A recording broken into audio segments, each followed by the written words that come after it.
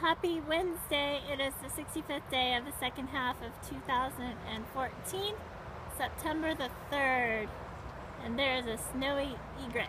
Beautiful, beautiful, beautiful. And today, as Goethe says, I have come to the frightening conclusion that I am the decisive element. It is my personal approach that creates the climate. It is my daily mood that makes the weather. I possess tremendous power to make life miserable or joyful. I can be a tool of torture or an instrument of inspiration.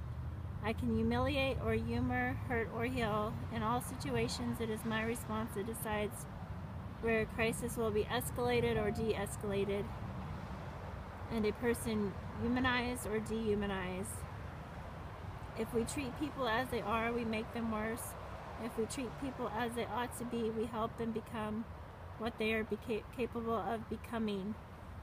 So we are all super, super, super powerful and golly, we sometimes, we just forget that.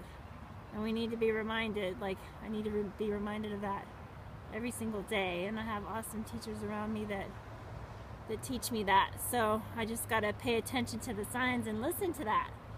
So um, never, ever, ever give your power away. And that bird is awesome awesome, awesome, awesome. And today is going to be an incredible day because I decided it's going to be an incredible day. So, and I'm going to be happier than a camel on Wednesday. So have a phenomenal rest of your Wednesday. Says the snowy egret as he just disappeared. Here he goes running. Bye.